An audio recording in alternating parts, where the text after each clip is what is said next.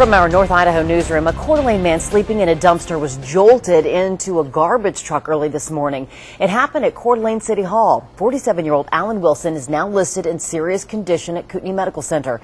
KXLY4's Annie Bishop live in Coeur d'Alene tonight. Annie, what happened? Well, about 4 o'clock this morning, Wilson was apparently sleeping right inside this recycling container when a driver from Waste Management backed up his rig, lifted this container about 10 feet in the air, dumping everything, including Wilson, inside of his truck.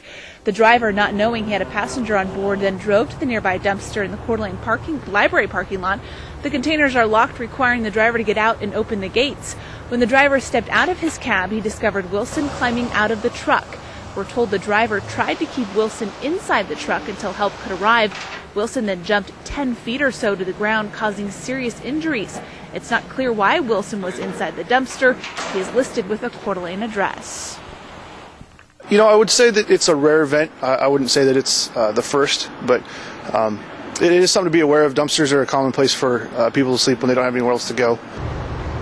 And be- because this is such an isolated incident, the city says it's highly unlikely it will change any policies regarding dumpsters. It's already clearly posted here on any dumpster. You're not to play or even occupy this container for any purpose. Reporting live in Coeur Annie Bishop, KXLY4 HD News.